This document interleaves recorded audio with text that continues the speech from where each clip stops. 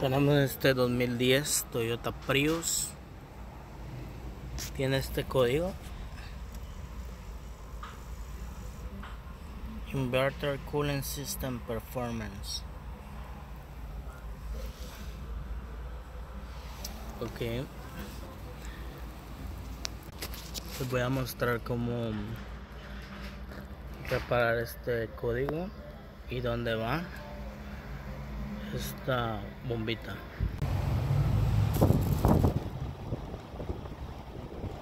Es esta inverter coolant pump.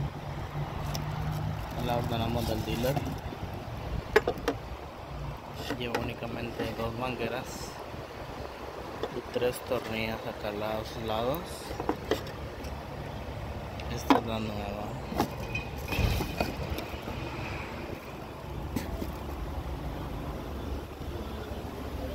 Aquí vamos al frente del vehículo. Este es el lado del chofer. Se encuentra ubicada donde va esta luz abajo.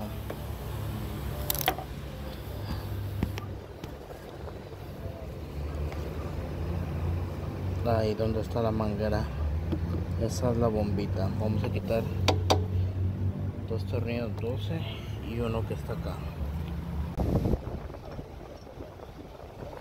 Uno.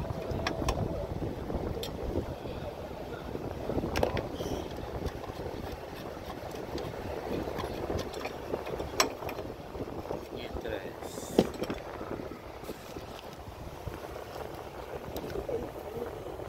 Ahora quitamos la manguera. Ya sabemos que tiene dos, uno al lado y uno arriba y los tres tornillos. Le quitamos una. Ahora quitamos la otra de abajo.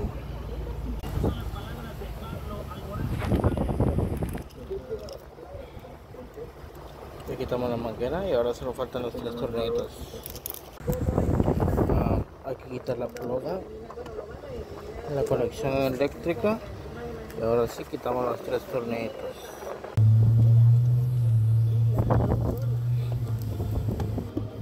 ya la quitamos los tornillos ahora sí hay que buscarle al lado para aquí después de haber quitado los tres tornillos hay que buscarle el lado pero se sale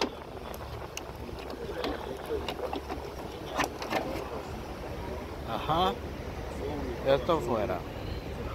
Pues igual vamos a meter la nueva. Bueno, ya instalamos los tres tornillos. Y pusimos la ploga eléctrica. Ahora ponemos de regreso las mangueras. Bueno, ya pusimos la bomba, la bomba invertidora de antifreeze en lo que es a la parte del del motor hybrid de lo híbrido. Ya le puse las abrazaderas. Yo le puse abrazaderas nuevas porque a veces las otras pues por el tiempo y se le quita la presión. Pero bueno ya está esto. Ahora vamos este a poner la parte que va acá y luego el antifreeze. Está listo ahora solo vamos a ponerle el antifreeze. Y este que ven acá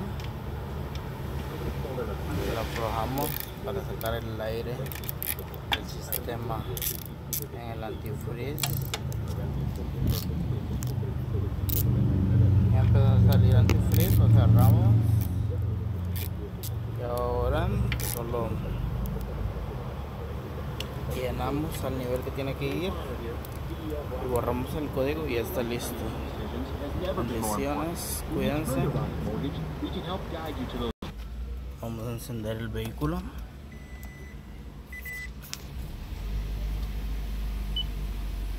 Miren, tiene la del check engine encendida. Les quiero mostrar acá. Les quiero mostrar nos vamos a diagnóstico si nos vamos al motor donde ven que tiene encendida la luz del engine verdad como donde dice leer el código que tiene y no aparece ningún código. Si dice history la historia tampoco tiene. Y si no donde dice pending o sea pendiente tampoco tiene. Es porque tienen que ir donde dice HVSU esa es la parte de lo híbrido. Ok nos vamos acá. Ahora dice el phone code y acá está el código. Entonces lo que vamos a hacer es borrarlo.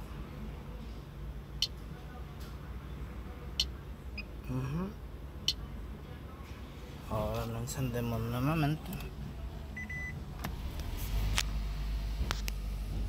y que la luz del chiquiño no está más. Ok cuando no puedan encontrar el código en el motor busquen en la parte híbrida del, del vehículo. Pues caso era el código de la bomba invertidora. Cualquier pregunta dejen su comentario. No olviden suscribirse a mi canal y que pasen un excelente día